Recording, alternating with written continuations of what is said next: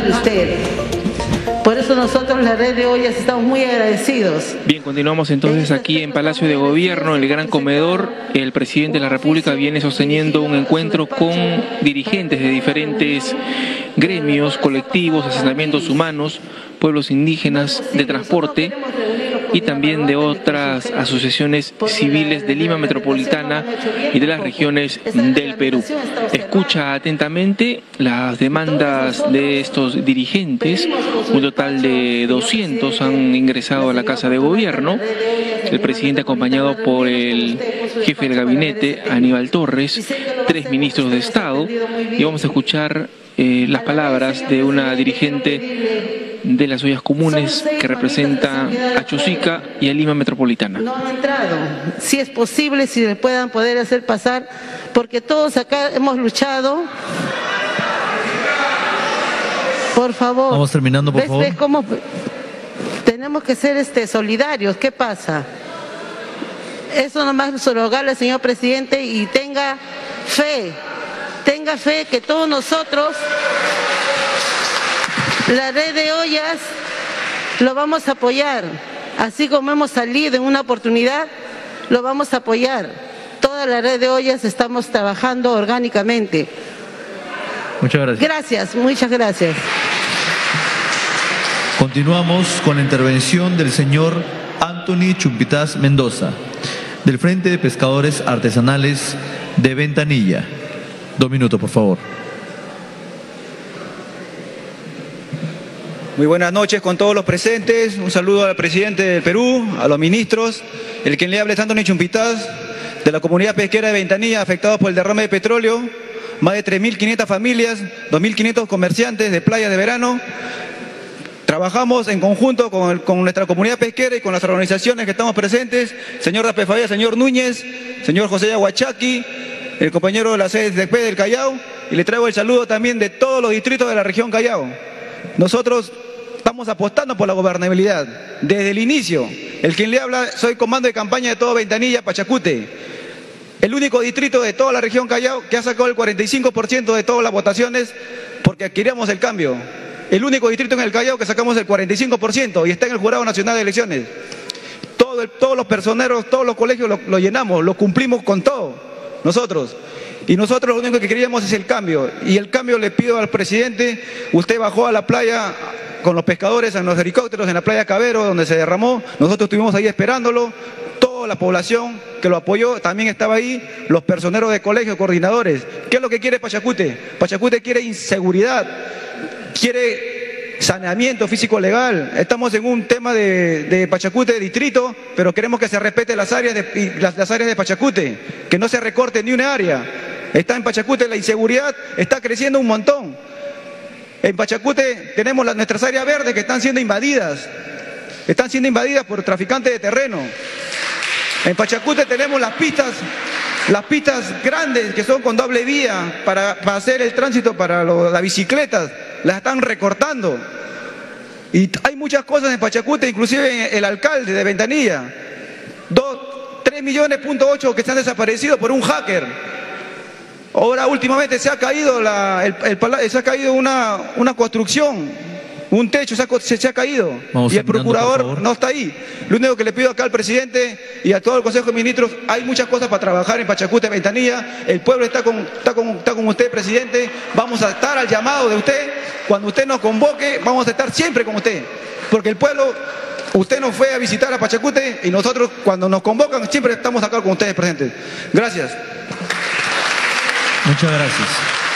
Continuamos con las palabras del señor David Solórzano, del Frente Nacional de Luchadores Sociales.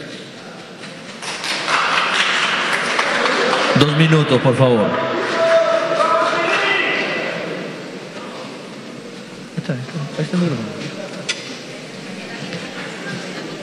Buenas noches, señor presidente. Buenas noches, buenas noches, señor premier. Buenas noches, señores ministros. Buenas noches, dirigentes todos, luchadores sociales. Un saludo para ustedes, compatriotas combativos. Eh, señor presidente, es- estamos desde campaña, desde el Parque de la Democracia, día a día hasta el día de hoy consecuentes y firmes. Leales siempre, traidores nunca. Señor presidente, acá está tu pueblo. Este es tu pueblo, señor presidente. Bueno, señor presidente, venimos de las regiones, venimos de todos los distritos, de provincia, con nuestro propio peculio, no como la derecha que vienen comprados, vienen, le dan su, su tapercito. Nosotros venimos con nuestro propio peculio, hasta, hasta sin pasaje venimos caminando, nos quedamos dormidos en las calles, pernotamos, inclusive nos hacemos chanchita y hacemos una comida, un hoyito, un hoyito común entre nosotros. Le acompañamos el día 9, lo acompañamos a la fiscalía con usted, caminamos hacia la fiscalía y regresamos con usted. El día 12 y 15 también estaremos con usted, señor presidente. Nosotros somos luchadores sociales que nunca descansarán, porque creemos en usted. Y señor presidente, esperamos, usted nos dijo, usted, perdone que, me dirija así, que nos iba a dar una reunión y nos iba a escuchar cada uno de nosotros y esperamos esa reunión. Igual, señor, presidente, con usted siempre vamos a ser consecuentes, hasta el último día, se acordará de nosotros. Dos y quince estamos presentes, en, la, en las calles con usted. Solamente pedimos que nos escuche. Y hemos propuesto, eh, como propuesta, tenemos en luchadores, en los luchadores sociales, tenemos nosotros técnicos, profesionales, cuadros que están dispuestos a apoyarlos. Y hemos ya presentado dos proyectos que están en su despacho para que los parte, nosotros podamos ser parte del gobierno. Y eso queremos. Terminando, por favor. Para, para, concluir, nosotros, usted es un dirigente como nosotros, del pueblo, y por eso lo admiramos. No se olvide de nosotros, por favor, señor presidente. Quiero concluir con esta arenga, hermanos. Por favor, de todas las regiones. Esta es la fuerza. Esta es la fuerza, la fuerza del Castillo. Esta es la fuerza, la fuerza del Castillo. Esta es la fuerza, la fuerza del Castillo. Gracias, hermanos. Palmas por todos. Muchas gracias. A continuación, las palabras de la señora Aida Gamarra del programa de ollas comunes Sembrando Esperanza.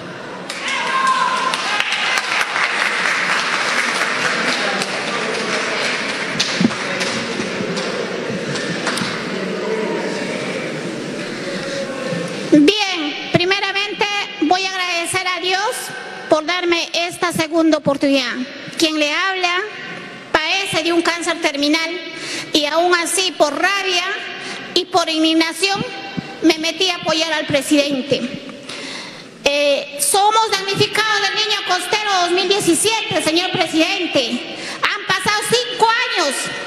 Seguimos sin reubicación, esperando la añorada reubicación. Mientras tanto, los traficantes de tierra, bien gracias, sacan provecho, señores, todos los terrenos, lucrando, mientras que la verdadera gente del pueblo sigue sufriendo. Vengo también en representación del programa de Ollas Comunes Sembrando Esperanza, quien albergamos ollas comunes ya en todo el Perú ahora. ¿Por qué? Porque nosotros somos las verdaderas ollas que sudamos, sabemos cómo se trabaja en una olla, porque cocinamos a leña. Yo puedo hablar de ollas yo cocino. No las que me representan, dicen representarme. Lamentablemente, lucran de las ollas comunes.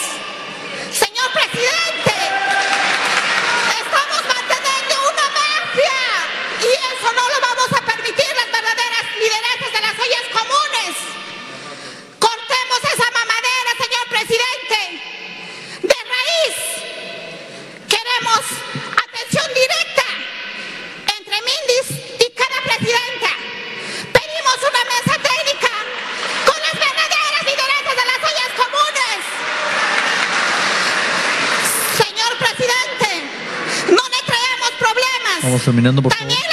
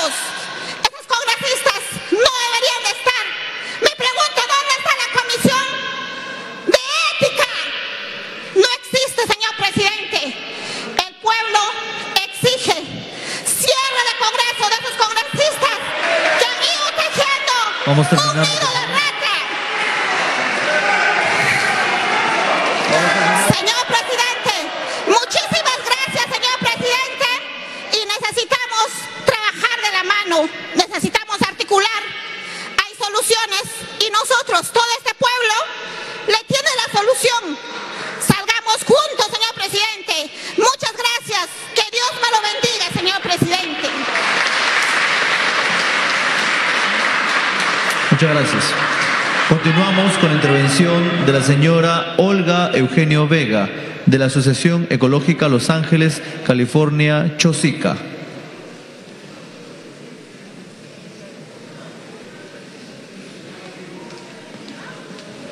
Dos minutos, por favor.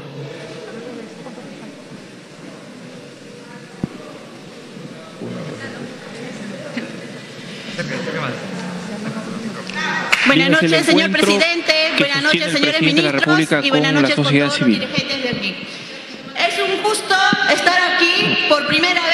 presidente.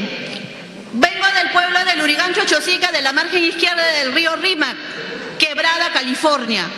Mi pueblo tiene 25 años de fundación, sin servicios básicos, sin electrificación. Casi todas la pobla- casi familias completas han, han fallecido por la pandemia. Señor presidente, por favor, se lo pido encarecidamente. Estamos a un paso de la cartera central y no contamos con electrificación, porque hay mucha burocracia que nos pide una cosa, otra cosa, observación, observación, mes, meses. Nuestro expediente se encuentra del 2018. Hasta el día de hoy no contamos con ese servicio tan elemental, señor presidente. Tenemos muchos niños, tenemos ancianos, tenemos familias completas que no podemos ni siquiera guardar nuestros, alimentos, señor presidente. He venido con mucho sacrificio, con mi hijito que se ha quedado fuera, con una mamá que no ha podido entrar. He pedido entrar aquí, casi rogando a, que, poder, para, para poder este, expresarme ese señor presidente. Por favor, también pedimos con las titulaciones, como dijo por ahí una señora, muchos traficantes de terrenos, muchos, muchas observaciones. El que puede hace lo que quiere, pero nosotros realmente que somos del pueblo, que hacemos, estamos ahí, no tenemos esos servicios, señor presidente. Eso sería, y felicitarle por su gestión, y está usted con el pueblo. Nosotros lo apoyamos, señor presidente. Muchísimas gracias. Muchas gracias. Continuamos con las palabras de la señora Rosa Huarcaya Matos, de la ampliación para el asentamiento humano de la zona de Barbadillo, Enate. Dos minutos, por favor. Buenas noches, señor presidente. Señor presidente, ministros, tanto las organizaciones diferentes, distintas organizaciones. Señor presidente, yo me, estoy pidiendo, porque agua y desagüe no tenemos, título propiedad tampoco. Varias organizaciones, por ejemplo, en mi zona, ampliación de asentamiento humano Chincho, vivimos 22 años, no tenemos agua, no tenemos luz, agua también compramos, y nuestros hijos también estudian. Entonces yo quisiera eso, le pido por favor que me ayuda y también igualito los eh, titulaciones también, somos 22 años que no tenemos. Y además en los eh, cerros no- nos perjudica, están invadiendo, nos está perjudicando a nosotros. Entonces yo quisiera, señor presidente, que camina, que venga a, nuestra zona a visitar que realmente pasamos las necesidades. Cada pueblo tenemos, no tenemos agua, las veredas, pistas, muchas cosas, ¿no? Y yo quisiera pedir eso, por favor, le, le pido, ¿no? Y además, señor, eh, señor presidente, pido también igualito los laderas que se respetan que, algunos municipios están dando hasta constancia posiciones. Nosotros no queremos eso, nos perjudica. Por ejemplo, para titulación vino a mi zona y nos dijo, los invasores están haciendo percando ahí. Y por esa razón que estamos, no nos quiere dar titulación. Entonces eso también que se respeta, ese PTP que está, las laderas son solamente para arbolización. Eso pedo, señor presidente. Y además, el Congreso, yo quiero que se cierre, señor presidente. Solo puedes trabajar, tú puedes. El pueblo, te vamos a apoyar, te vamos a respaldar, señor presidente. Todo, el pueblo está contigo. Vamos terminando, Donde que está, señor presidente, Dios que te, que te apoya, que te, que te bendice. Gracias, señor presidente, con todos. Muchísimas gracias. Muchas gracias. A continuación, la intervención del señor Narciso García Vallejo. Tiene que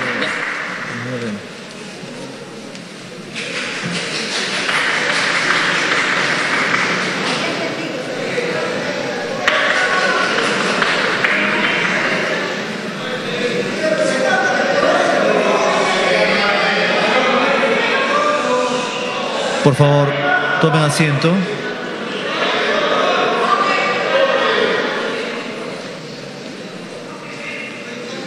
Cuidado, cuidado.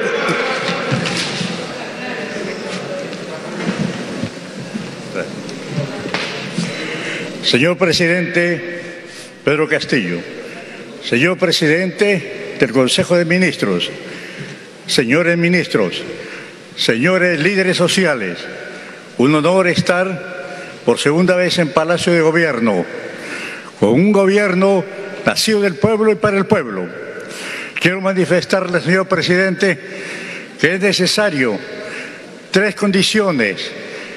Me permito proponerle como educador que ya está en camino la Universidad Pedagógica del Perú, Diego Thompson, compromiso que se obtuvo una oportunidad con los maestros. En segundo lugar, manifestarle que sin la educación, con una conciliación con la ciencia y la tecnología, no podrá haber desarrollo en el país y una educación comprometida e identificada con su región, con una educación comunal, una educación solidaria que nos permita comprendernos y desarrollar el país. En tercer lugar, proponerle el éxodo del Perú, de Lima, que se considera como el Perú, a las provincias. El éxodo del Perú de los peruanos para el desarrollo del Perú y, la prosperidad. Señor presidente, para esta segunda reforma agraria me permito que se debe considerar la creación de la superintendencia de cooperativismo, porque el cooperativismo está venido a menos y se destruyó cuando se tenía bancos inclusive para esta economía social que ahora está caminando en otra forma. Y esto es lo que deberíamos hacer. Entonces sí podemos crear las ciudades agrarias en el interior del país para que no nos falten los alimentos, que se viene la hambruna, como se viene anunciando. Finalmente, señor presidente, manifestarles que debemos llegar a una alfabetización general como se hizo con Diego Thompson en el año 82 a través de los propios alumnos que ocupaban los primeros lugares y establecer ese servicio de los egresados de las universidades a los ministerios, porque hay mucha burocracia y no caminan las cosas así y la culpa lo tiene el presidente. Deberíamos tener a los estudiantes universitarios de las distintas carreras que pasen por cinco años a los ministerios, indudablemente pagándoles como si fuera un servicio militar obligatorio. Les pagamos nosotros con nuestros impuestos para que salgan profesionales de las universidades nacionales. ¿Y qué ocurre? Que son los primeros en tener la cobranza tan fuerte para el mismo pueblo que no contribuyen en nada. Les damos y no hay una retribución. Esas serían las condiciones, señor presidente, y el diálogo abierto con los señores ministros también para que puedan comprendernos y poder desarrollar así mutuamente el liderazgo social con el gobierno central. Muchas gracias, señor presidente. Muchas gracias. Continuamos con la intervención del señor Fernando Picatoste Romero, presidente de la Asociación Nacional de Licenciados de las Fuerzas Armadas del Perú, Chalecos Rojos. Muchas gracias. Buenas noches con todos. Buenas noches, señor excelentísimo presidente de la República Constitucional del Perú, Pedro Castillo Terrones. Buenas noches, señores ministros. Buenas noches, señores dirigentes todos. Primero, quiero felicitar a todos por estar el día de hoy aquí presentes. Siento que el día de hoy realmente está el apoyo de nuestro pueblo hacia nuestro presidente. Yo quiero por eso pedir un voto de aplauso fuerte, compatriotas.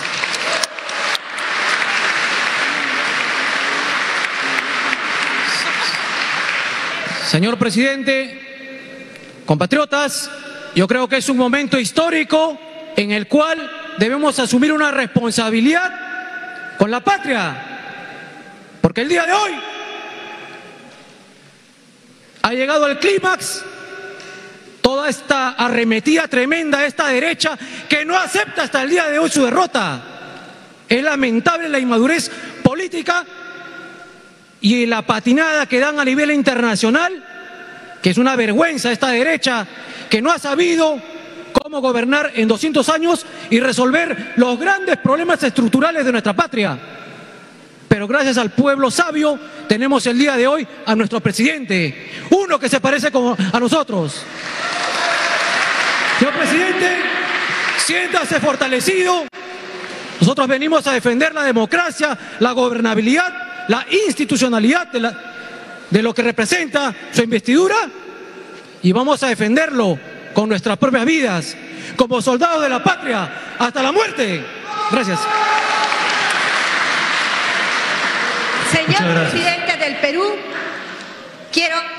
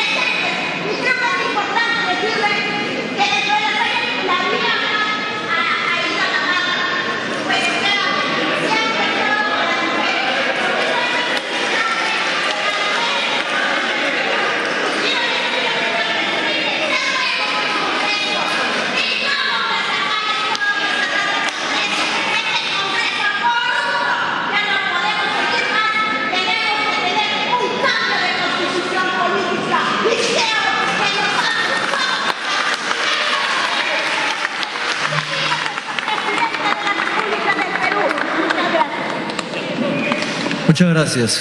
Continuamos con las palabras del señor Humberto Maopari Salazar, presidente de la CGTP Regional Callao.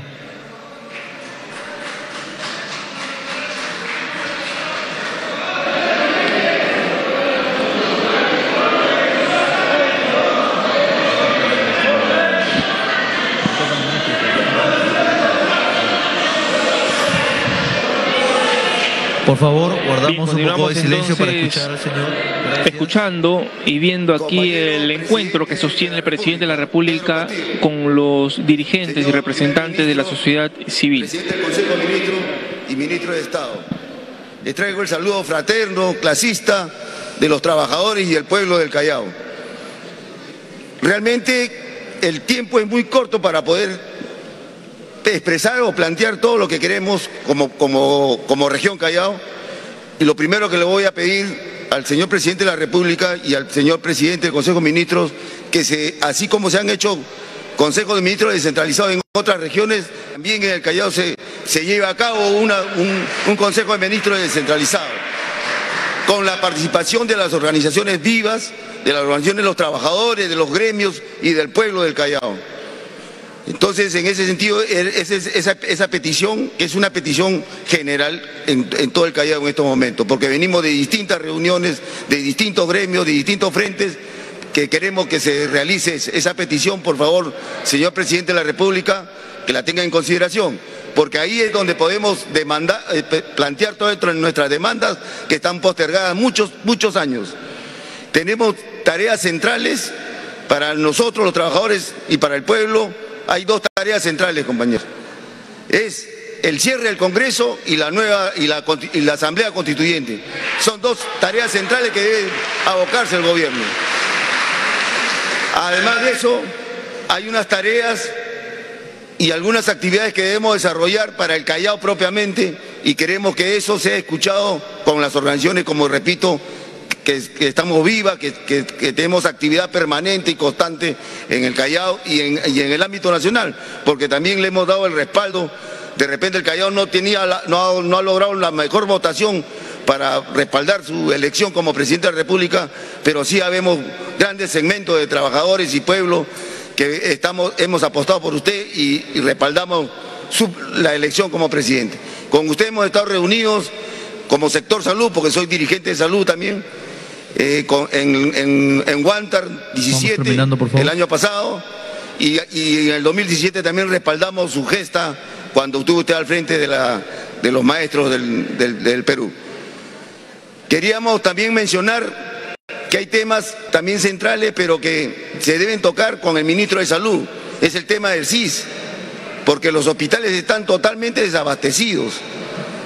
No hay, solamente en, los hospitales te dan aguja y te dan la jeringa, ni guantes hay. Vamos terminando. Entonces, ese, Tema del, ese tema del CIS también debe ser tocado. Y finalmente, finalmente, manifestarle que el tema de servir también se revise. Los trabajadores del Estado, todos los trabajadores del Estado, rechazamos y exigimos la derogatoria de la ley de servir y de la desactivación de su aparato burocrático que solamente ha servido para que se enriquezcan los que trabajan ahí.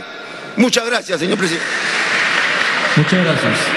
Damos la palabra al señor Miguel Armas Reynoso, del Hospital Hipólito Unán.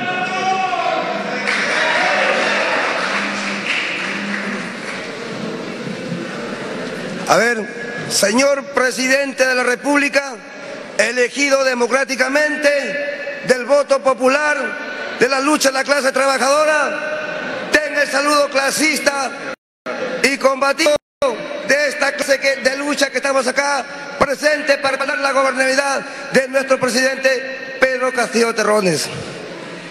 Señor presidente de la República, Pedro Castillo Terrones, al compañero Aníbal Torres, ministro, o ministro, perdón, premier y a los ministros.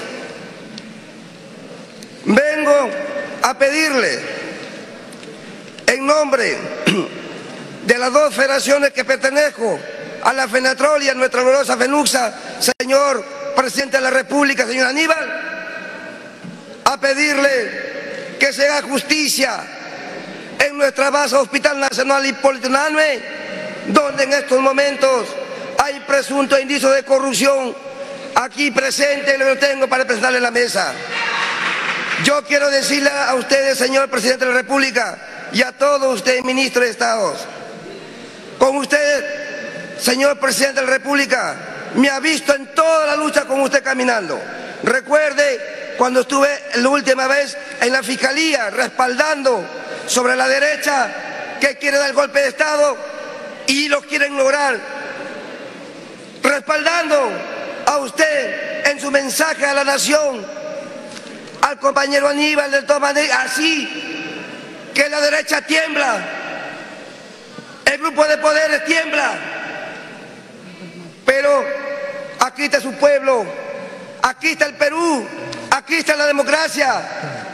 Nosotros todos dormimos ahí en el jurado de elecciones. Vamos terminando, por favor. Y le pido a nombre de nuestra Federación Fenatrol, señor presidente de la República, usted mismo ha visto que toda esa gente que venía de provincia, yo le pediría que haga una casa para ellos cuando vengan y estén durmiendo ahí para apoyar el voto popular y respetar la democracia. Termino con esto, señor presidente de la República. Quiero pedirle a nombre de mi federación, FENUXA, que nos dé, señor presidente, que nos dé una cita en lo más pronto posible. Vamos terminando, por Quiero favor. pedirle, señor presidente, una cita con usted como Federación Nacional de Girón Guanta por nuestro compañero Eri Vázquez y a la vez le voy a dejar este documento para que se haga justicia al cambio de director del Hospital Nacional de Puerto Grande. Gracias, compañero. ¡Viva la lucha de los pueblos! ¡Viva la lucha de los pueblos! Gracias, compañero. Muchas gracias. Continuamos con las palabras del señor José Montenegro, abogado y luchador social.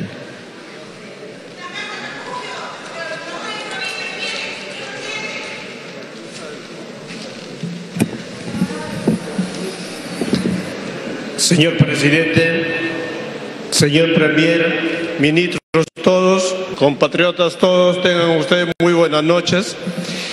El que les saluda, muchos me conocen, gracias a nuestro hermano presidente Pedro Castillo Terrones, que me dio la oportunidad de recorrer el país con él en campaña electoral y hoy tener la oportunidad después de un año estar con ustedes y con nuestro presidente y los, ministros presentes. Decirles que nosotros, señor presidente, muy preocupados en un afán social que tenemos hoy en día con este nuestro gobierno, que luchamos todos para lograr el objetivo y que usted nos represente como presidente de nuestro Perú. Le digo yo, como su paisano, como su amigo y su hermano chotano, que vengo de la provincia de la cual usted también Vamos pertenece. terminando, por favor. No le quiero quitar más el espacio que nos está brindando para expresar este- estas pocas palabras. Me quedo con la inquietud de que usted nos conceda una reunión con, líderes, representantes de las diferentes regiones de las cuales he conocido para poder conversar con usted, señor presidente. Muchas gracias. Muchas gracias. Continuamos con las palabras del señor Baltasar Ilachoque Copa, presidente del esquema de agua y alcantarillado.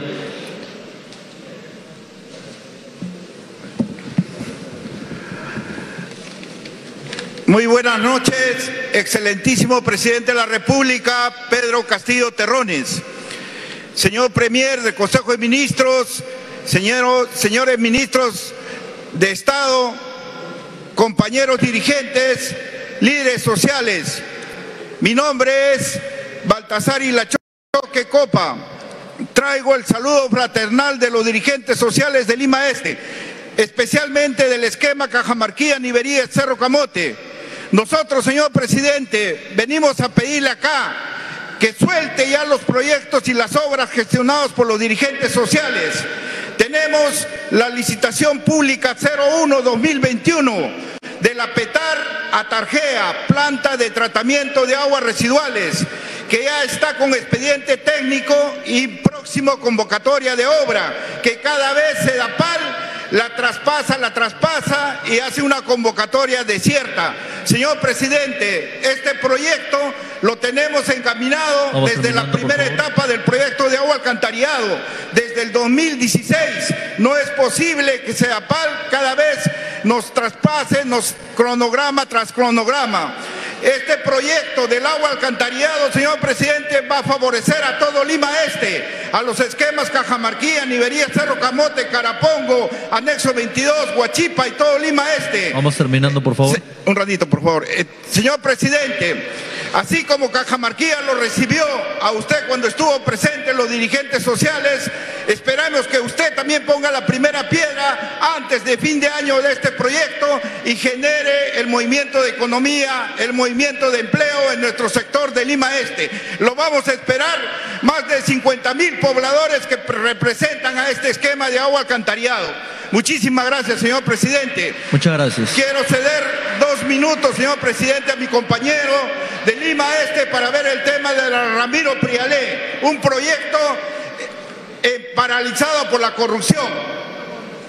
A Señor Isidro, por Ah. favor, un favor. Gracias. Es que no se puede hacer eso.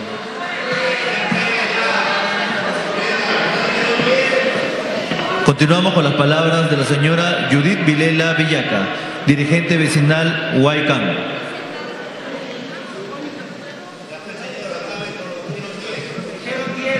Buenas noches, señor presidente, señor ministro, yo voy a ser muy específica. ¿De qué hablamos? He, escuchado que hay proyectos, agua y desagüe, pero no hemos olvidado de un tema muy importante, la seguridad ciudadana. Sale una obra, viene el sindicato y muertos todos, porque ellos son los que siempre amenazan con pistola y todo lo demás. ¿Quién habla? No le voy a decir que apoyé porque ya nos conocemos lo que hemos apoyado. He trabajado en una radio, sigo trabajando. Yo tengo una propuesta para el tema de seguridad ciudadana, las juntas vecinales. Se forman las juntas vecinales y la gente va desertando, desapareciendo. Yo propongo una cosa, crear un programa, porque quienes participan en las juntas vecinales mayormente son la gente que más necesita.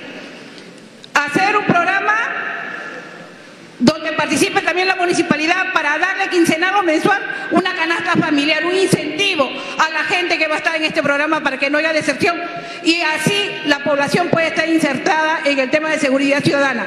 Seguridad ciudadana es tarea de todos, municipalidad, policía y la población, pero veamos un incentivo no un bono, Vamos sino una canasta que será mejor recibida. Esa es mi propuesta. Muchas gracias por el tiempo. Muchas gracias. Continuamos con las palabras del señor Gabriel Indalicio Mori, de la comunidad Shipibo Cantagallo.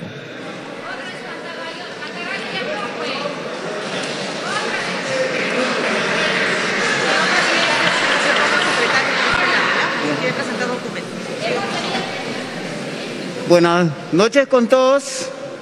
Eh, primeramente, buenas noches, señor presidente, señor presidente de ministros y los asesores. Eh, solamente traigo un saludo de parte de la comunidad indígena asentada más de 20 años, donde pasaron eh, turnos de gobiernos. Quizá de repente, de aquí en 10 minutos, nadie nos ha visitado. Quizás también tienes una deuda, señor presidente. Les hemos estado esperando desde el día que asentaste dentro de su asiento, pero nos sentimos indignados, sentimos marginados, vulnerados, discriminados, más de 20 años que nunca nos atendieron hasta el día de hoy. Solamente dos propuestas. Inmediata formalización del predio y decreto de urgencia.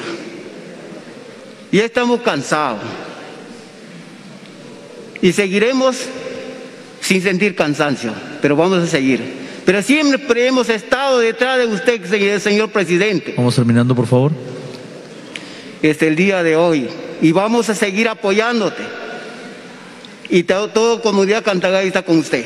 Muchas gracias.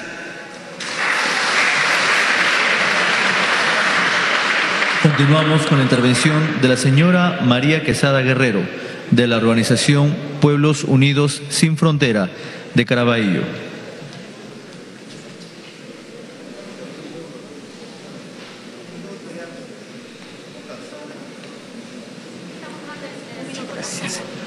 Muy buenas noches, señor presidente Pedro Castillo. Muy buenas noches, señores ministros y compañeros todos. Lo que yo voy a hablar es algo nos concierne a todos los que no tenemos agua. ¿no? Tenemos, yo en Caraballo tenemos un megaproyecto de agua alcantarillado y mejoramiento de redes. ¿no? Debería haber sido acabado en diciembre de 2021. Hasta el día de hoy no terminan el expediente y nos dan vueltas y vueltas y vueltas y lo van aplazando. Mi preocupación es que si no lo acaban para septiembre, no va a haber este, plata, presupuesto en octubre. ¿Qué vamos a hacer? Nosotros usamos la cisterna, una cisterna que capaz ni la lavan.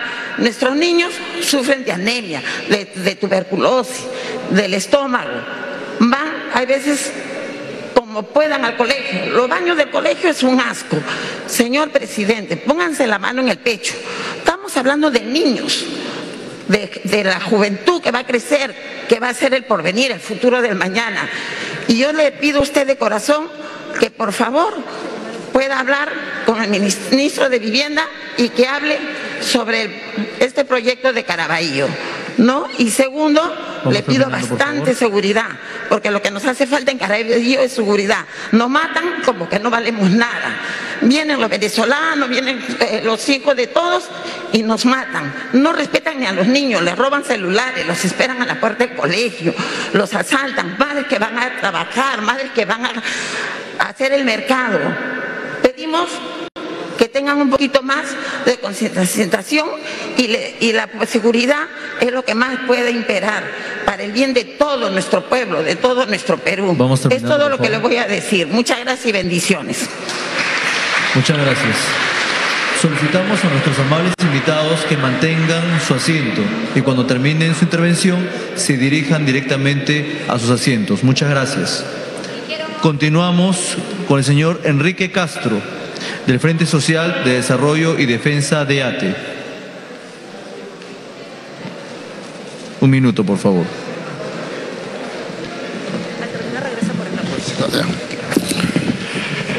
Amigo presidente Pedro Castillo, señores ministros y compatriotas, muy buenas noches.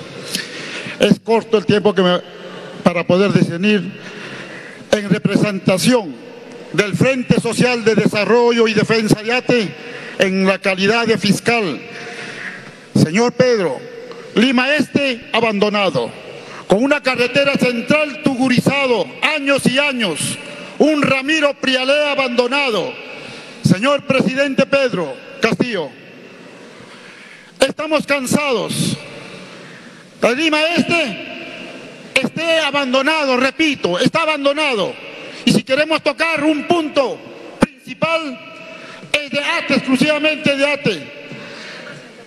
Señor Castillo, la corrupción, 25 años, inquistado en Ate Vitarte. Nadie se preocupa por nuestros hermanos de Lima Este.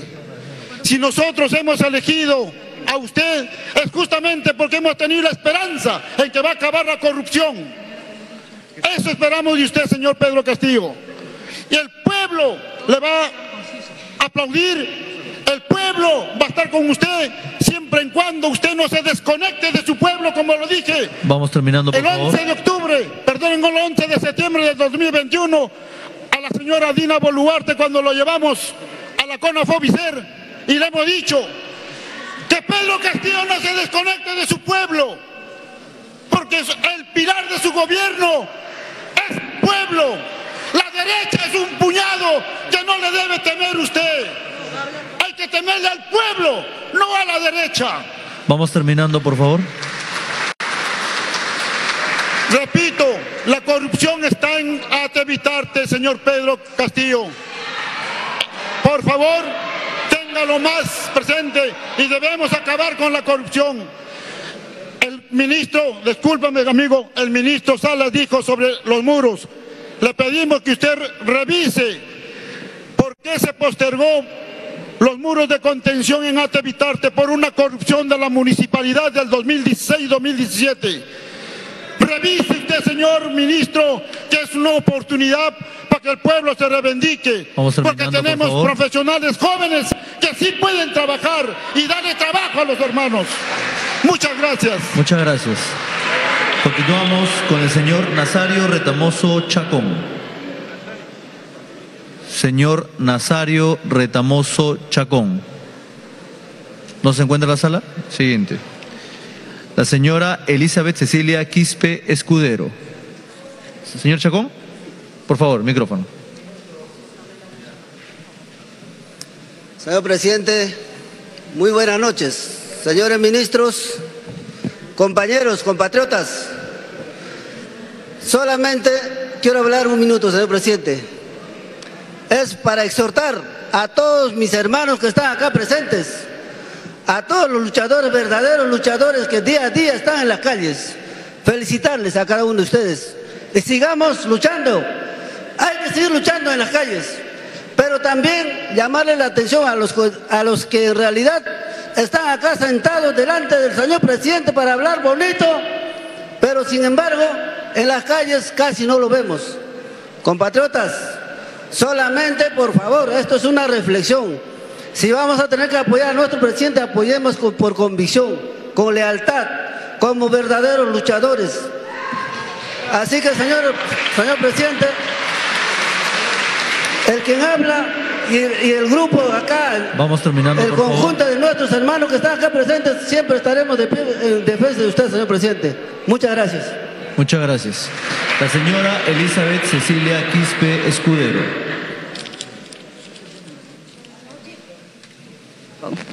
Buenas noches con todos. Señor presidente, primera vez en mi vida de 43 años de servicio como docente, me indigna lo que le están haciendo a usted, porque nosotros los maestros tenemos estrategias y de- pensamos con el cerebro, no somos huecos. Y le voy a pedir a Dios, no necesitamos una u otra religión, la religión es única, Dios es único. Y debemos estar unidos, unidos con una fuerza y Mujeres al Poder del Perú con la doctora Teresa León, oramos, oramos, oramos y que se cierre el Congreso, porque no es posible que estemos maltratadas y maltratar a nuestro presidente, un humilde que viene de donde, de lo más profundo y lo más alejado, donde yo también he vivido y he visto que no comen. Acá se come el, el Vamos terminando, por pollo a la brasa, en la torta. Allá no se come nada de eso. Se come la tierra, lo que crían ahí, nada más. Y no es eso justo. Oremos, Dios mío, Señor mío, te pido por misericordia de Dios, alúmbranos a todos por igual, porque todos somos seres humanos. Y desde acá yo sé que están escuchando el extranjero, porque nosotros también, mujeres al poder, tenemos fuera de acá del país. ¿Ya? Y sensibilicemos nuestras conciencias, por favor. Conciencia humana para nuestros hermanos, tanto de adentro como de afuera. Amén.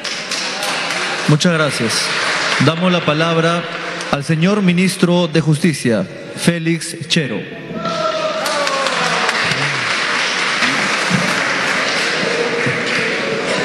Señor presidente constitucional de la República del Perú, Pedro Castillo. Estimado premier, estimados ministros, la hermana que me acaba de anteceder ha mencionado a Dios y yo creo que en todos nuestros actos debe estar presente Dios. Cuando uno de los más grandes revolucionarios que no llevaba un arma en la mano, sino solo la palabra para predicar, entraba a Jerusalén. Sus enemigos que querían destruirlo y derrocarlo le dijeron, Señor, calla a esa gente. Y él les respondió, en verdad les digo que si esa gente se calla, las piedras gritarán. Hoy, señor presidente, como una expresión de genuina democracia, han venido los hombres y mujeres del Perú que tienen esperanza y que no solo creen en la democracia, sino que creen en la justicia, porque no puede haber democracia si no hay justicia social. Han venido espontáneamente no es como se está señalando que son portátiles que se organizan, porque aquí están quienes realmente sufren por años las necesidades y las inclemencias y la postergación que nunca fueron atendidas.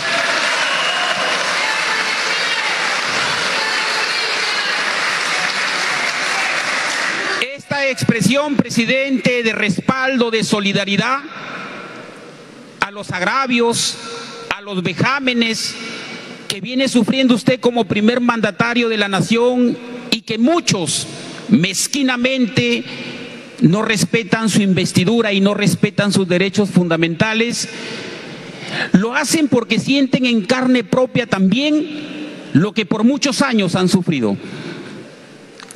Muchos de los ministros, estimados y hermanos y hermanos que estamos aquí, también somos provincianos. Y alguna vez reclamamos cómo romper el centralismo funcionarial.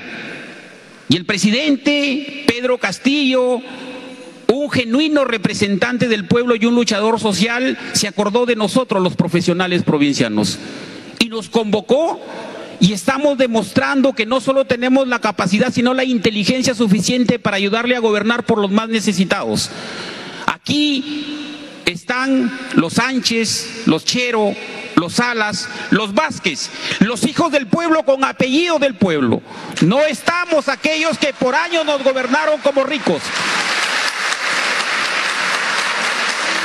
Por eso es que el día de hoy, presidente, tenemos que acercarnos más, como lo hemos venido haciendo en los consejos descentralizados, a nuestros hermanos y hermanas que sienten en carne propia la necesidad y la postergación y creo que tenemos que asumir un compromiso no solo de defender el Estado de Derecho, no solo de defender la independencia de poderes, no solo de defender la democracia, sino tener los ministerios de puertas abiertas para todos los dirigentes y organizaciones de base que necesitan de nuestra atención. De tal forma, presidente, que creo yo que asumimos el compromiso, así como hemos ido a todas las regiones, escuchar a la población más populosa del Perú, que son nuestros dirigentes de base de Lima, Callao y los demás sectores alejados particularmente como justicia y derechos humanos, hacemos el compromiso de agendar con ustedes reuniones de trabajo para poderlos atender en aquello que corresponda y sea competencia de mi sector.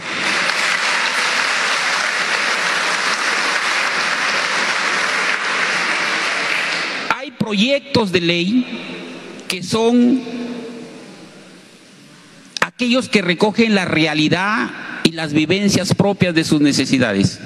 Las, organizaciones de base saben hacer propuesta, los dirigentes saben trabajar proyectos de ley, de tal forma que este es el momento de hacer una amplia convocatoria para que esos proyectos de ley se acerquen a nuestros sectores, lo alcancen a nuestros sectores y nosotros podemos hacer esos proyectos de ley propios los perfeccionamos, le damos la técnica legislativa para que sean presentados, porque del corazón del pueblo también nacen propuestas normativas para satisfacer sus necesidades.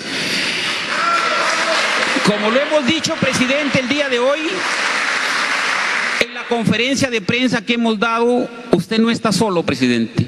Son 18 ministros que se constituyen en los soldados de la defensa del Estado de Derecho y de la democracia pero hoy, presidente, hoy se han autoconvocado los genuinos y verdaderos soldados de la democracia.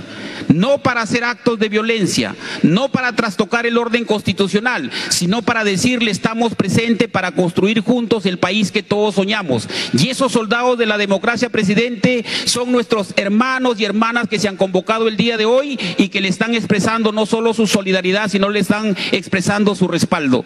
Yo les quiero agradecer a todos, asumimos el compromiso, sé que todos queremos expresar desde lo más recóndito de nuestro corazón lo que sentimos.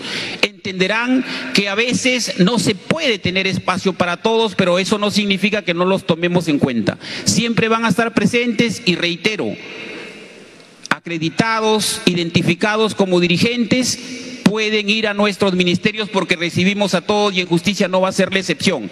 Y digo que tienen que estar acreditados, identificados, porque no olvidemos, a veces en las grandes organizaciones también se nos infiltra un desleal, un traidor, un disociador o alguien que quiere hacerle daño a este Estado, que es un Estado democrático y que lidera el profesor Pedro Castillo Terrones, quien ha venido justamente a devolver la esperanza y la justicia social que todos anhelamos. Gracias y espero volvernos a reencontrar en algún momento. Un fuerte abrazo a todos. Muchas gracias, señor ministro. Continuamos con la intervención del señor ministro de Trabajo y Promoción del Empleo, Alejandro Salas. Muchas gracias. Gracias.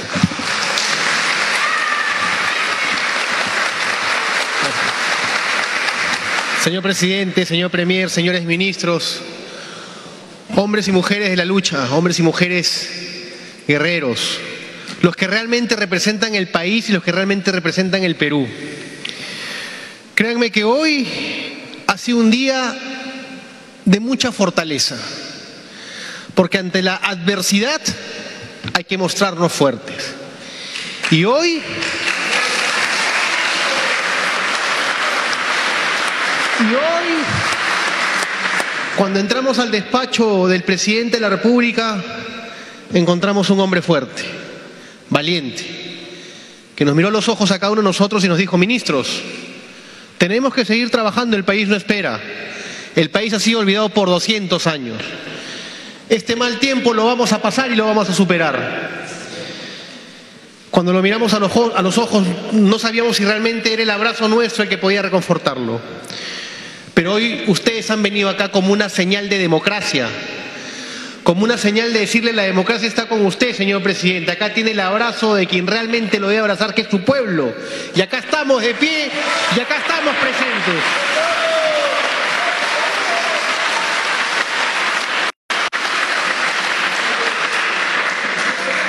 Y cuando hemos visto las imágenes de una ciudadana buena, luchadora, la hija del presidente, presentarse por voluntad propia ante el Ministerio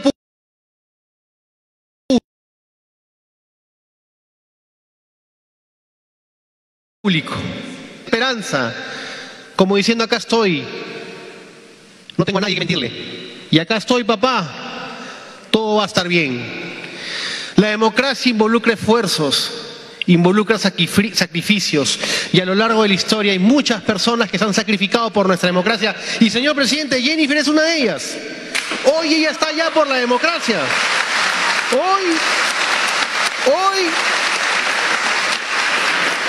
hoy ella está allá para desbaratar cada una de las mentiras que quieren utilizar para arrebatarle el poder a su gente, para arrebatar el poder que usted ganó en urnas. El verdadero sentimiento que ustedes el día de hoy han expresado acá, créanme que va a ser que el, que el presidente de la República no solamente descanse tranquilo y con fortaleza, sino descanse feliz de haber visto a su pueblo que lo respalda, que viene y que lo abraza. Yo he recibido del presidente de la República un encargo como ministro de Trabajo. Reactivemos y activemos todos los programas sociales laborales a favor del pueblo. Y quiero y quiero resultados, ministro. Así que quienes reclaman muros de contención, que es su derecho, César, amigo, te conozco hace un buen tiempo. Te espero en el despacho, te espero en el despacho con tu gente porque tengo una orden del presidente y la vamos a cumplir. Queridos amigos, sigamos de pie, no desmayemos. Todos estos acontecimientos nos tienen que dar mucho más fuerza. La fuerza de la democracia. Tenemos una persona que desde adentro está luchando, se llama Jennifer. Ha ido a expresar su verdad, pero sobre todo ha ido a desmentir todo lo que se dice sobre su padre. ¡Viva el Perú! ¡Viva la democracia! ¡Viva los luchadores! Muchas gracias. Continuamos con la intervención del señor ministro de Comercio Exterior y Turismo, Roberto Sánchez. Presidente, buenas noches. Premier, buenas noches. Compañeros ministros, hombres y mujeres, líderes y lideresas aquí presentes, que tienen en sus rostros, en sus hombros, en el lomo del hombre y la mujer trabajadora, las cicatrices de 200 años de marginación. Porque eso representa este gobierno. Eso representa cuando la chacra, el campo, lo rural, eso que no alcanza de entender ni la academia, ni las élites, que es expresión de marginación, ha llegado a Palacio de Gobierno en su periodo más crítico, sí, seguramente con luces y con sombras, con alegrías, con tristezas, con esperanzas, seguramente con aciertos y desaciertos, pero jamás con deshonestidad. Este día, presidente, en la mañana recibiendo a hombres y mujeres de la región Cusco, Anta, de Anta, más temprano recibiendo a diferentes organizaciones sociales, organizaciones de ronderos, dirigentes populares, de hombres y mujeres de todo el Perú. Y esta noche, recibiendo de manera espontánea, porque hay sectores y personas que no entienden, que creen que esto es los métodos que muchos sectores están acostumbrados a hacer, portátiles comprados. Aquí nadie se compra, acá nada se vende, aquí hay mística, hay decencia, hay trabajo, hay pueblo.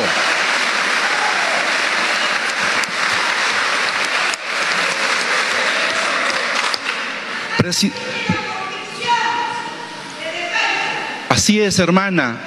Aquí existe convicción. Claro que sí. Pero este gobierno, surgido del voto democrático, del voto popular y ciudadano, tiene allí su fuerza y fortaleza. Quisieron desconocerlos con shows internacionales, con patrañas, pero la verdad se abrió paso en el frente interno y la comunidad internacional.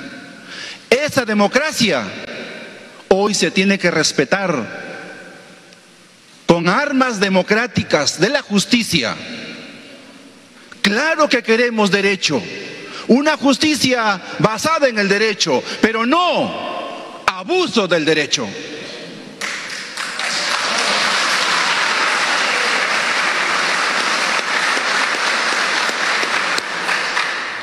La democracia significa tolerancia, significa consenso. Ese brazo extendido que este gobierno hace un año viene insistiendo y convocando a todos los poderes. Para muestra un botón, más de 25 proyectos de ley aprobados por este gobierno para darle solución a los problemas de fondo. Siguen durmiendo el sueño de los justos en el Congreso, que no los atiende, que los posterga.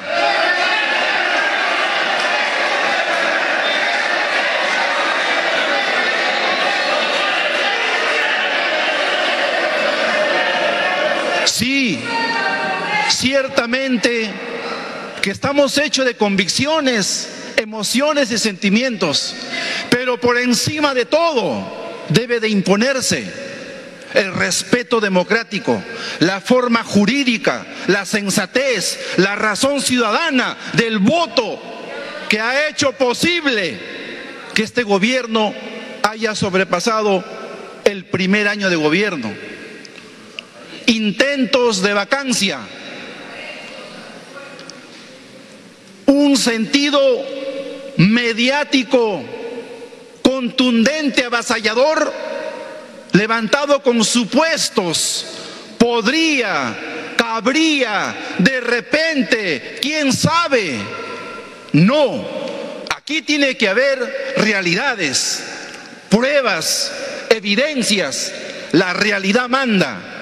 Y esa realidad invoca hoy, hermanos, hermanas,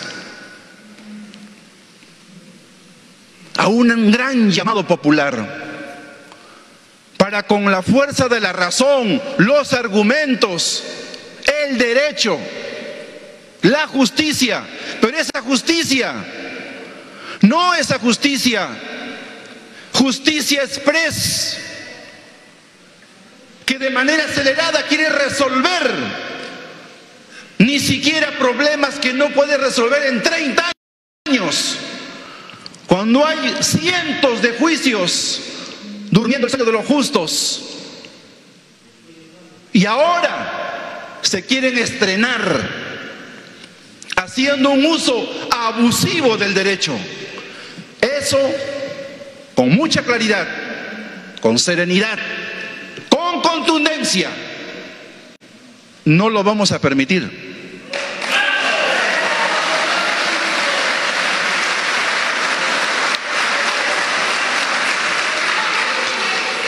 con un profundo sentido, hermanos, hermanos y hermanas,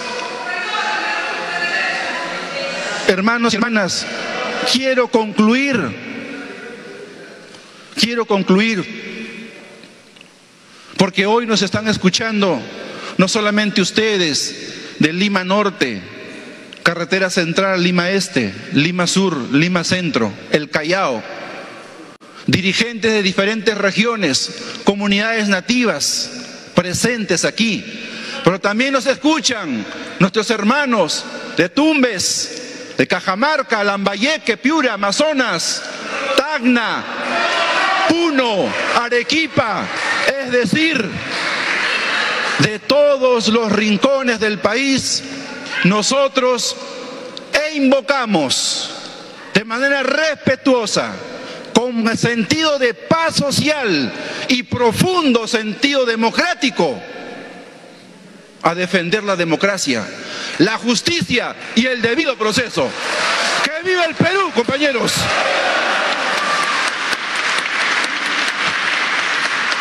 Muchas gracias.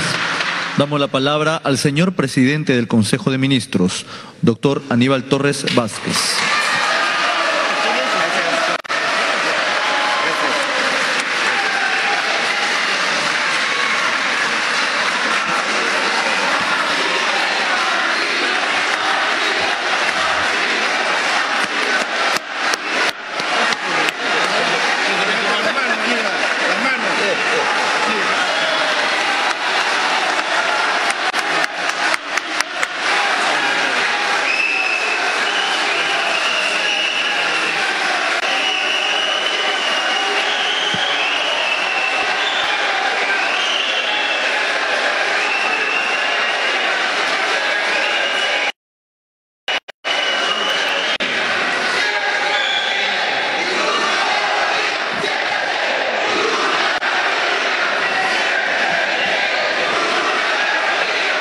¿De pie?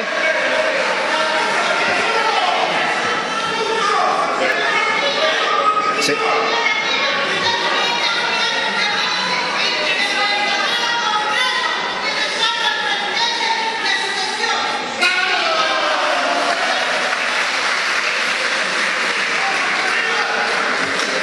Señor, señor presidente Pedro Castillo, colegas ministros, líderes, lideresas sociales, señoras, señores, lo que acabo de constatar aquí, de lo que han expresado cada uno de ustedes, es que significan una voluntad, un espíritu vencedor, triunfador, que no se arredra frente a la, a- al apabullante atropello que ejerce un sector de la derecha, un sector de nuestra clase política, nuestro sistema de justicia, que se ensaña contra el presidente de la República solamente porque no les gusta que el presidente de la República escuche al pueblo, que gobierne con el pueblo, que haga participar al pueblo en los debates, que haga participar al pueblo en la toma de decisiones.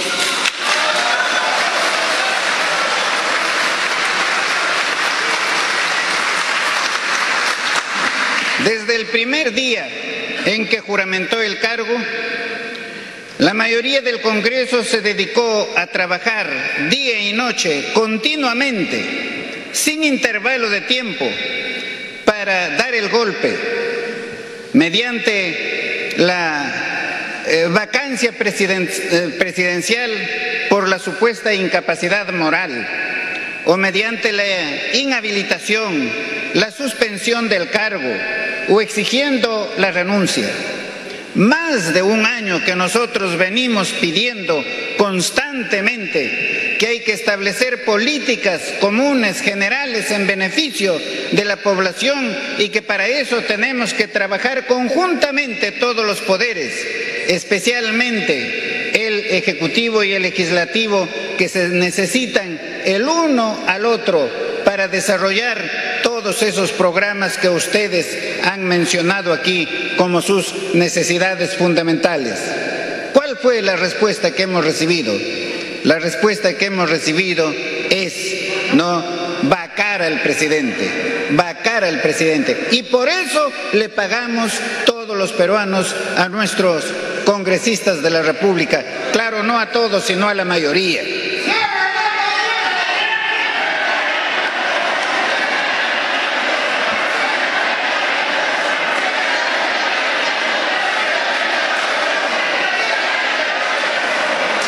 Imagínense ustedes ese espíritu combativo, eso que lo están manifestando ahora. Si ustedes, cada uno, con esa energía que tienen, con esa capacidad que tienen, con esa voluntad que tienen para defender sus intereses, los intereses de sus hijos y de los hijos de sus hijos, con esa voluntad que trajeran a Lima 50 personas cada uno. Entonces, no.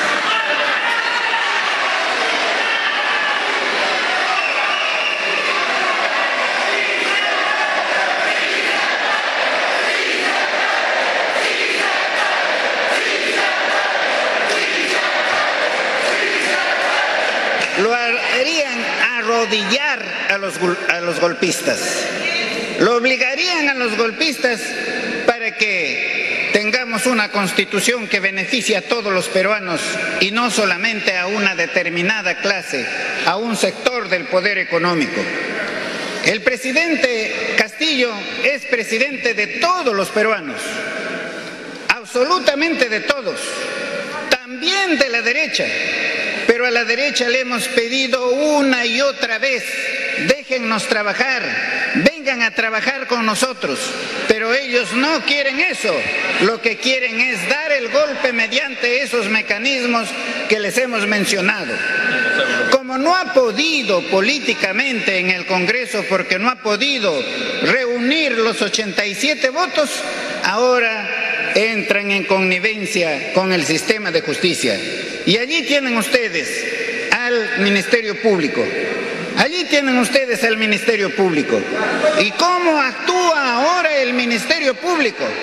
Con un extraordinario abuso de, de- de derecho, viniendo aquí a interferir las actividades del presidente, las actividades del Ejecutivo, ¿no? sin que la Constitución, sin que la ley lo permita, pero por el abuso de ciertos fiscales y de ciertos jueces y con la ayuda, por supuesto, de la prensa limeña.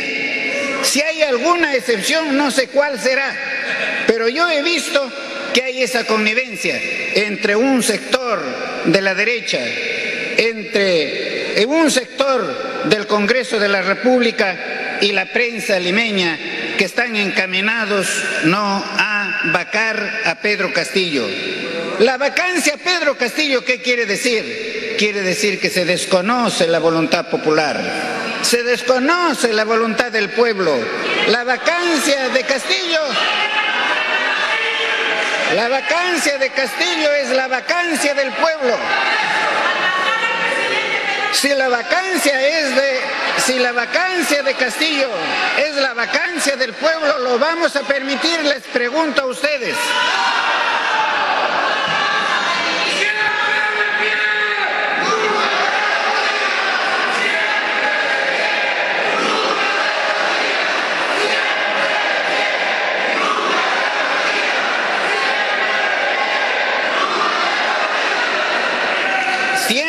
Le pedí a la mayoría del Congreso, siempre le pedí a la derecha, a la ultraderecha, que trabajemos conjuntamente, que respetemos el Estado de Derecho, la democracia, la voluntad popular, pero más de un año no entendieron. Y ahora han llegado a los extremos a que han llegado y que hemos visto el día de ayer que para hacer una diligencia fiscal convocan a la prensa y hacen ese tremendo show, ¿no? Con el objeto de desprestigiar al presidente frente frente a la ciudadanía y frente al mundo sin darse cuenta que con eso lo que están haciendo es despreciar al Perú frente al mundo, porque a ellos no les interesa el Perú, a ellos les interesa solamente su riqueza.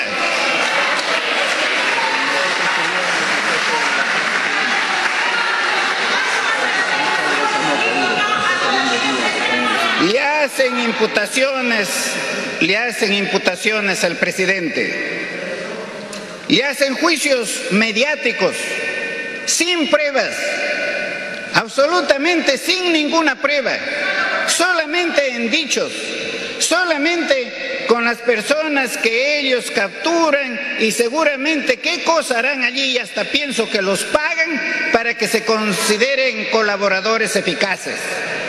Pero esos colaboradores que los pusieron en libertad hasta este momento no pueden presentar una sola prueba. Y de eso la prensa limeña no dice nada. No dice nada. Y no dice nada la prensa limeña sobre la conducta de los perseguidores de Pedro Castillo. Miren ustedes por qué la Fiscalía de la Nación ha desactivado la Fiscalía investigaba a los cuellos blancos. ¿Por qué? ¿Por qué? ¿Por qué la prensa no dice nada? Y ahí hay una falta gravísima que la Junta Nacional de Justicia debe investigar. Pero hay otro hecho mucho más grave que la señora fiscal de la Nación ha cambiado la fiscal que investigaba a su hermana por narcotráfico, o sea, no por haber puesto en libertad a narcotraficantes, se dice a cambio de coimas. Si eso es verdad, no, si ese es un hecho verdadero, real, y allí está la prueba que ha cambiado a la fiscal que investigaba a su hermana, eso constituye una falta gravísima. La prensa no dice nada al respecto y la Junta Nacional de Justicia tampoco lo dice, tampoco lo dice. Pero ese hecho, ¿a qué está dando lugar? A que la gente comente y diga, caramba, aquí el sistema de justicia se está convirtiendo en el brazo jurídico del narcotráfico. Y eso se debe corregir en el país. Ellos acusan, ellos atacan con falsedades. Nosotros ni siquiera podemos decirle la verdad. Esa verdad tenemos que decirle. Nosotros si somos combativos, si tenemos coraje, si tenemos valor, si tenemos fuerza de espíritu, tenemos que llamar en el Perú a las cosas por su nombre, a fin de que se libere el pueblo peruano, o sea, las grandes mayorías nacionales, porque aquí no con este trabajo persistente que hace este sector vacador, lo que se está perjudicando es al pueblo, a la comunidad en general, y así el Perú no va a poder salir de su subdesarrollo. Pero como, he dicho en otras ocasiones, toma conciencia, pueblo peruano, toma conciencia. En esta oportunidad tienes un gobierno del pueblo. Y si tienes a un gobierno del pueblo, tú eres el gobierno. Entonces defiéndete. Entonces defiéndete de las agresiones. Defiéndete de las agresiones. No permitas, no te dejes atropellar.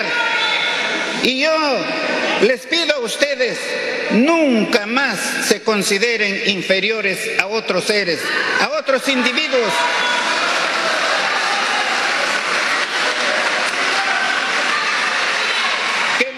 Que nos, han gobernado durante 200 años y que se consideran intelectuales, que se consideran inteligentes.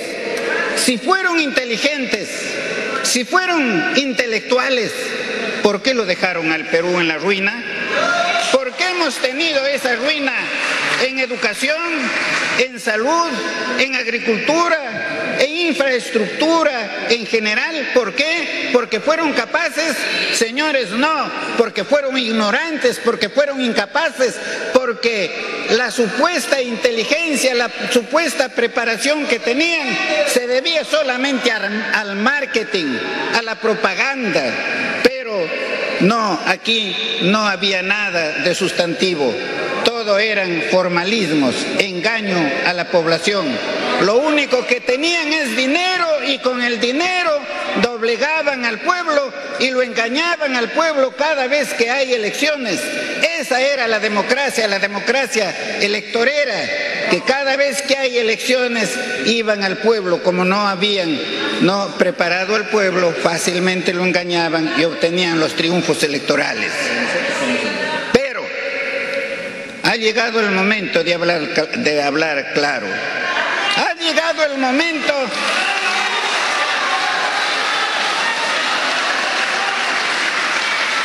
Ha llegado el momento que, como dijo el presidente, en días pasados le damos la última oportunidad.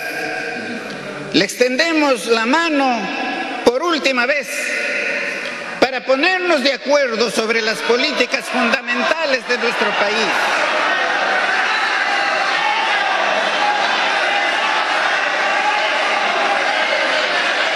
Pero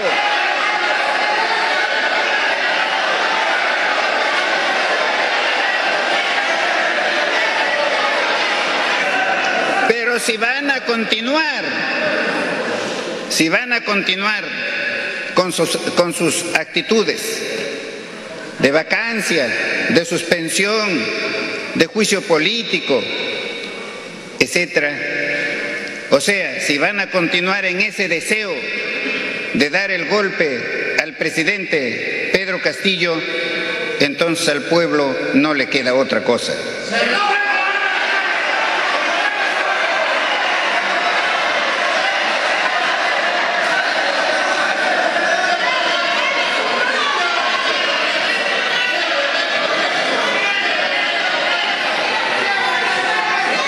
El pueblo, el pueblo tiene que defenderse. El pueblo no se va a arrastrar como fue durante 200 años de vida republicana. Este es otro pueblo que ya despertó. Este es otro pueblo que sabe defender sus derechos.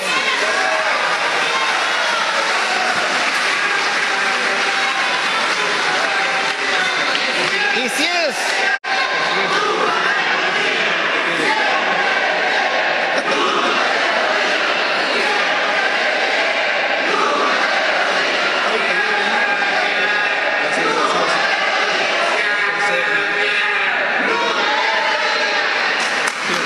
Y si es necesario, con la vida. Aquí estamos. Aquí estamos.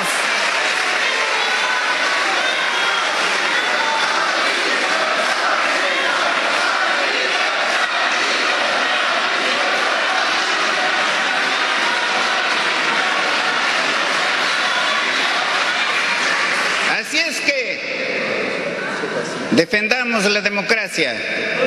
Y, ahora pido a todos los peruanos, defendamos la democracia. Trabajemos conjuntamente. Por supuesto, en beneficio de todos los peruanos, pero fundamentalmente por las clases más necesitadas, por los olvidados durante 200 años de vida republicana, porque ellos también son peruanos. No más lo podemos permitir, no que ellos se consideren como los dueños del Perú y que los otros son los cholos, que los otros son los indios, que los otros no, este son los sirvientes. No, señores, aquí todos somos iguales. Somos dueños del Perú.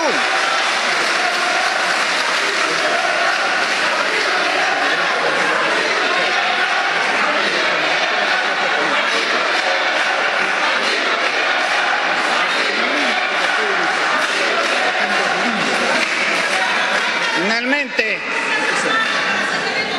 viva la democracia, viva el Estado de Derecho. Nos comprometemos a defender firmemente el Estado de Derecho, a defender la democracia y a defender la voluntad del pueblo.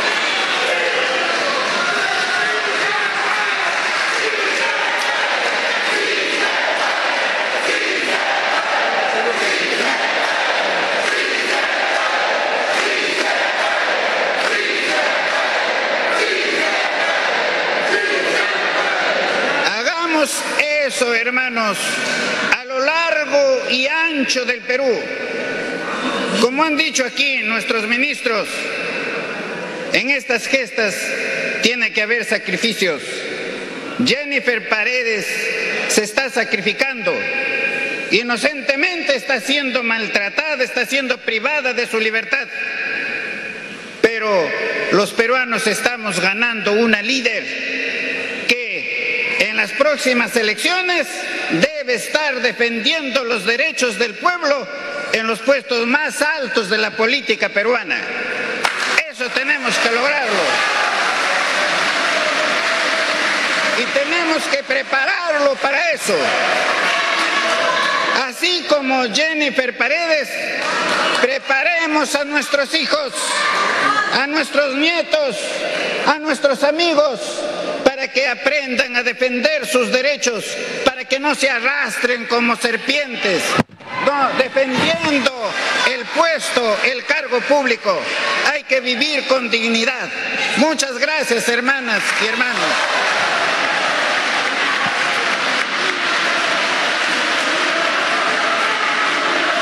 Muchas gracias. A continuación, las palabras del señor presidente de la República, José Pedro Castillo Terrones.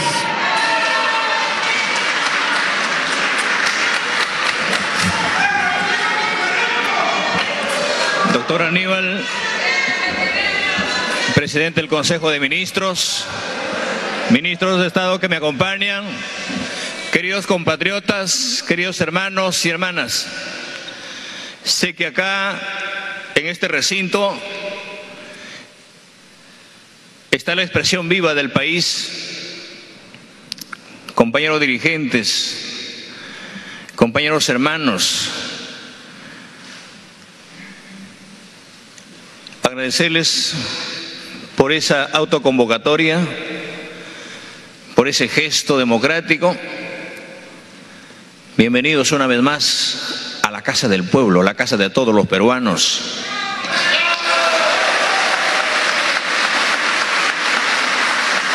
Mi sincero reconocimiento a las organizaciones sindicales y populares del país, a los comerciantes, a los mototaxistas, a los maestros, a las enfermeras, a los dirigentes de todo el espacio social. ¿Cómo no recordar las luchas que hacíamos con ustedes en diferentes espacios del país? Yo quisiera también, en nombre de ustedes, los hermanos, recordar a la familia de aquellos hombres y mujeres que el día de hoy ya no están con nosotros. Hoy me siento fortalecido con su presencia. Para mí es totalmente fortalecedor. Me siento orgulloso estar al lado de ustedes y con hombres como don Aníbal y estos hombres que se han expresado como ministros. Y espero recorrer el país nuevamente y que ustedes que han hecho uso de la palabra sean verdaderamente los verdaderos voceros del país, los verdaderos voceros de su, de su barrio, de su pueblo. Yo quisiera comprometer al Premier y desde acá a nuestro gabinete que así como hemos recorrido las regiones del país, llevando a cabo la voz del pueblo para que escuche el maestro, escuche el campesino, escuche el pueblo allá, lo que, lo que a muchos no les ha gustado. Pero yo quisiera pedirles a ustedes de que a la brevedad posible hagamos un cronograma para llevar el gabinete a los sectores de Lima Metropolitana y el Callao.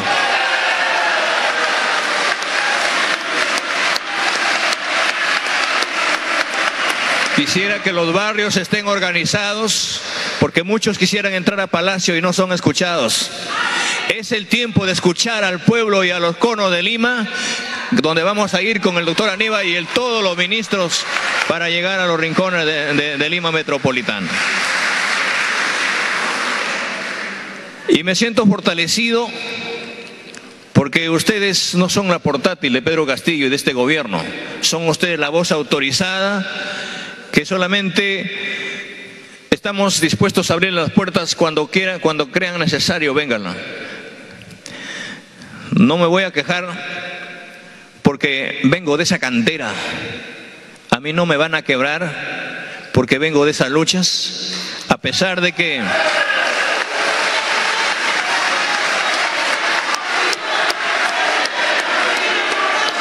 A pesar de que hemos sido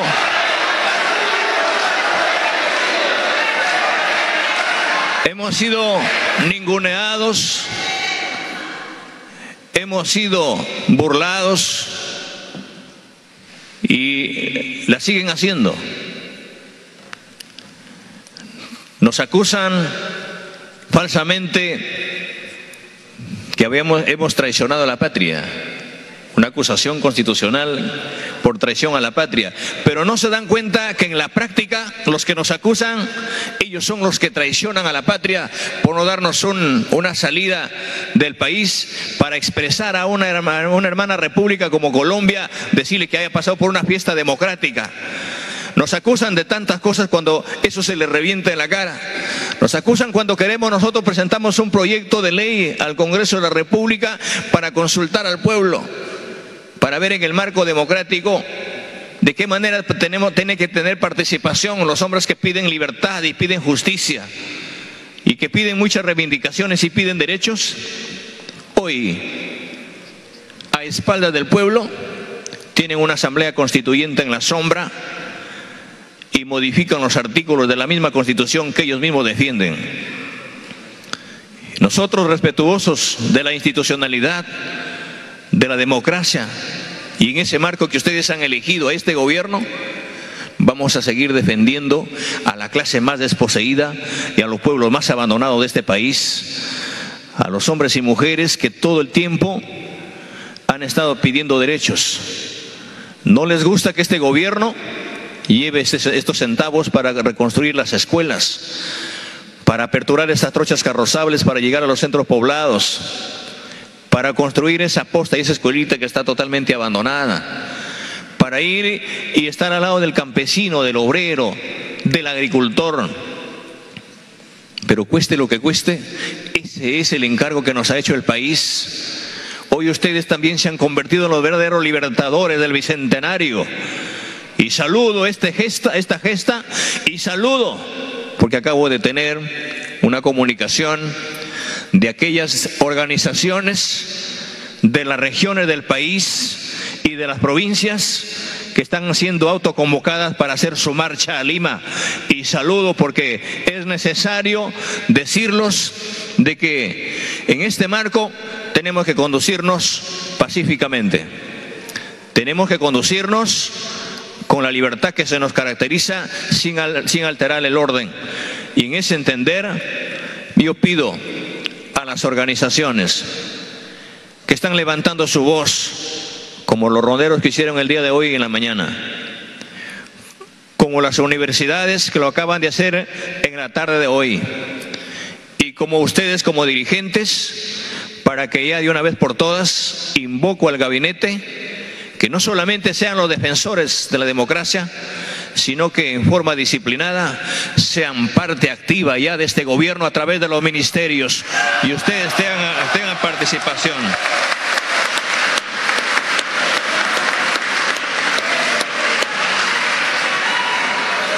Queridos compatriotas, caminemos junto con ustedes para hacer efectiva la titulación la titulación que necesitan nuestras, nuestras familias. Caminemos junto con ustedes, acá tienen el gobierno para hacer realidad este derecho constitucional como el agua potable y el saneamiento que hoy vienen a clamar estas estos dirigentes y estas dirigentes. Señores ministros, invoco una vez más a ustedes con la finalidad de que atendamos, no abramos simplemente la puerta y nos sentamos a conversar con, con la- con las organizaciones y con el pueblo, sino tenemos que atenderlo, tenemos que caminar con ellos. En ese entender, hay muchas demandas que han llegado al gobierno. Si nosotros hemos sido postergados y hemos Hemos esperado 200 años. ¿Por qué no esperaron unos meses y unos días para ser atendidos en el marco de un cronograma responsable y también en conjunto. Yo llamo de acá al país que estamos entrando a una fiesta democrática este año, donde se van a elegir nuevos alcaldes y nuevos gobernadores. Llamo para que no se le mienta al pueblo en una campaña política y no se le ofrezca lo que no se puede hacer, sino más bien que miren al país y miren su sector priorizando lo más emergente, como es educación, salud y la alimentación de nuestro pueblo. Y a eso hay que sumarle la educación que nos hace muchísima falta, porque sin educación no habrá bienestar, tampoco habrá desarrollo. Pero también invoco a los alcaldes y a los gobernadores regionales salientes, que dejemos bien, en buenas, dejemos en buen estado y en buenas condiciones, tal como se hizo esta gesta para llegar a ser alcaldes y gobernadores, también salgamos con las manos limpias, porque de eso estamos hechos. Y desde acá quiero agradecer a mis padres y a mis hermanos que siempre, como una familia humilde y unida, nos hemos criado con las uñas cortadas.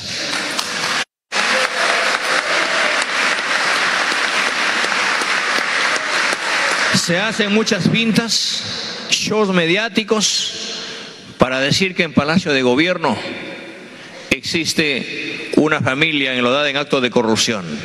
Han pasado más de un año y no la pueden demostrar. Esa es su agenda. Que continúe su agenda.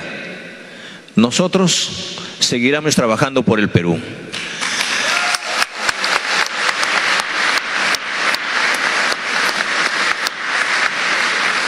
Sé que los golpes que nos han dado y nos van a seguir dando, vamos a demostrarlas con trabajo, con honradez, al lado del pueblo.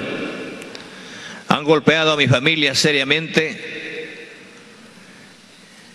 a mis padres, a mis hermanos, a mis hijos. Y sé que el día de hoy, en este momento, Jennifer está pernoctando en el piso es parte de la lucha, es parte de la vida, es parte de, la vida política en el Perú.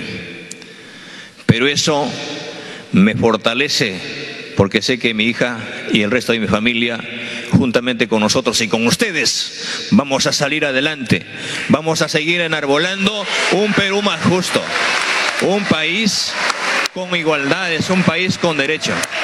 Un Perú con derechos y oportunidades. Detrás de ustedes existe también una familia. Detrás de ustedes existe también un espacio social. ¿Quién no quiere que nuestros hijos sean mejores que los padres? ¿Quién no quiere que nuestros hijos avancen? Y por eso es que estamos convencidos de que en este gobierno tenemos que hacer realidad el quinquenio de la educación. Y vamos a dar el presupuesto real al sector educación. Y estamos hablando con diferentes actores para que nuestros hijos ya de una vez por todas tengan el ingreso libre a las universidades. Hagamos el esfuerzo de una vez más para que de una vez por todas también se geste este ministerio de la ciencia, la tecnología y la investigación en el país. Para que hombres como los que tengo a mi lado, como don Aníbal y como los hijos de ustedes que están buscando una esperanza, ya no estén pensando en coger una botella de agua y crucen los desiertos para ir a buscar una, una mejor oportunidad en otros países y estén en condición de ilegales, sino más bien tengan las puertas abiertas y tengan las grandes oportunidades acá donde nacieron, acá donde nos ningunean, acá donde nos ignoran.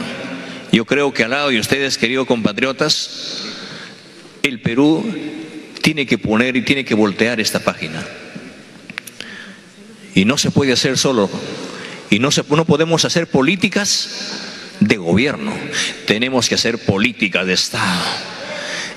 Ese mesas políticas de Estado donde se escuche la voz de la hermana, la voz del anciano, la voz del joven, la voz del estudiante, la voz del campesinado, la voz del obrero. Y en ese entender, yo quisiera que ustedes se conviertan en los ojos y oídos de esta gestión y díganos quién es el ministerio, el ministro o el funcionario que le está robando al país para sancionarla también inmediatamente para corregir inmediatamente lo que en esta gestión tanto se anhela, tanto se quiere cambiar. Yo recorrí con muchos compañeros de ustedes, como el compañero Manuel Césped que eh, nos acompaña en este momento, y muchos de ustedes son maestros y dirigentes, y que estuvieron allá en el Parque de la Democracia. Hoy tenemos que seguir bregando porque la democracia no sea, no sea un sueño. Lo dijimos nosotros que la república no nace. La república se construye y se hace. Pero esa república cuesta, cuesta sacrificio, tiene sus costos. Pero como alguien decía, cuando se increpaban dos compatriotas y uno se quejaba porque la universidad de su hijo costaba y el otro no tenía de dónde pagarla y le decía a su vecino, yo porque cuesta caro la educación, hoy mis hijos se han convertido simplemente en chacreros, hoy la educación está caro, no puedo pagar la pensión, no puedo pagar la matrícula. Y pasa una campesina y obrera y le dice, tenemos que seguir sacrificando por la educación de nuestro país, porque no podemos seguir para atrás. Tenemos que sudar para pagar aunque cueste caro, porque de lo contrario, más caro es la ignorancia. Mi padre nos decía que el mejor abono de la tierra es el sudor del hombre. Y yo vengo a decirles a ustedes de que el sudor del pueblo, el sudor del pueblo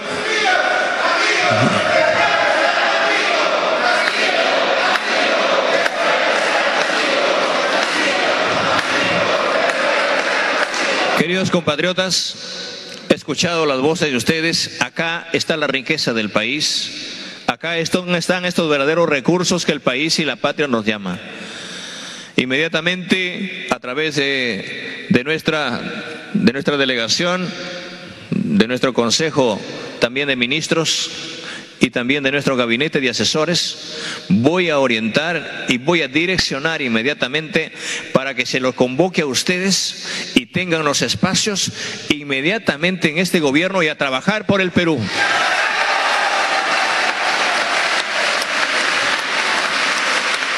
Quisiera terminar diciéndole de que nuestro, nuestra defensa el doctor Benji Espinosa está comprometido con nosotros una vez más y qué bien que siga asumiendo esa defensa para que sigamos adelante. Y invoco a los hombres y mujeres y a los compañeros hermanos que el día de hoy se han puesto también a disposición mía e inmediatamente son convocados para el día de mañana, en la mañana, para hacer la defensa no solamente legal, sino la defensa del pueblo peruano que hace años está buscando su reivindicación. Viva la clase popular del Perú. Viva los hombres y mujeres de esta patria. Viva las organizaciones populares. Viva el campesinado. Adiós, gracias. Muy buenas noches con todos ustedes. Bien, el presidente de la República, Pedro Castillo Terrones, acompañado por cuatro ministros de Estado, ha sostenido un encuentro con los dirigentes de diferentes colectivos, gremios, asentamientos humanos, pueblos indígenas, una cita que se ha prolongado por casi tres horas en el gran comedor de la Casa de Gobierno. Ha dicho que va a sostener unas reuniones más adelante entre el gabinete ministerial y eh, los sectores de las zonas de línea metropolitana y Callao, zonas por supuesto que se encuentran más alejadas, básicamente en los conos de Lima. El jefe de Estado se saluda ya entonces con los dirigentes, despidiéndose de esta manera. Vamos a retornar a estudios centrales.